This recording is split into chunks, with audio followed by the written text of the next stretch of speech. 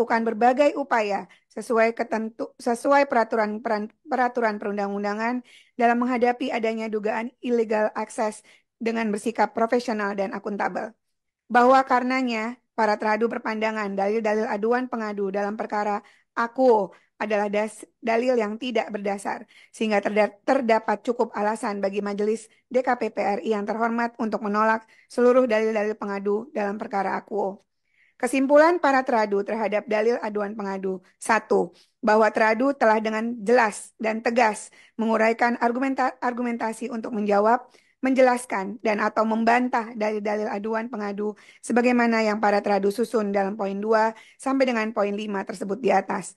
Kedua, bahwa sampai dengan sidang pemeriksaan perkara etik akuo, proses penyelidikan masih dilakukan oleh pihak Bareskrim Polri. Sehingga sampai dengan saat ini illegal akses yang terjadi pada aplikasi Sidalisi tidak serta-merta dapat dinyatakan telah terjadinya kegagalan perlindungan data pribadi. Ketiga, bahwa para teradu telah bersikap profesional dan akuntabel dengan melaksanakan semua prosedur pencegahan terhadap data pribadi serta melakukan tindak lanjut terhadap dugaan illegal akses.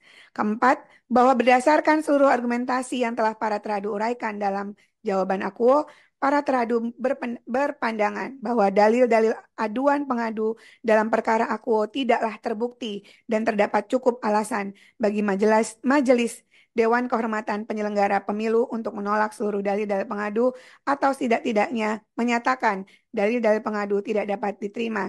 Nit Otvan Kelih Pelrat 5 bahwa berdasarkan uraian argumentasi yang para teradu susun dalam jawaban ini membuktikan bahwa para teradu tidak melanggar prinsip-prinsip penyelenggaraan pemilu penyelenggara pemilu sebagaimana diatur dalam peraturan DKPP nomor 2 tahun 2017 tentang kode etik dan pedoman perilaku penyelenggara pemilihan umum.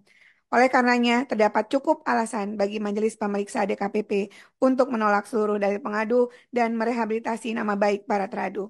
Petitum bahwa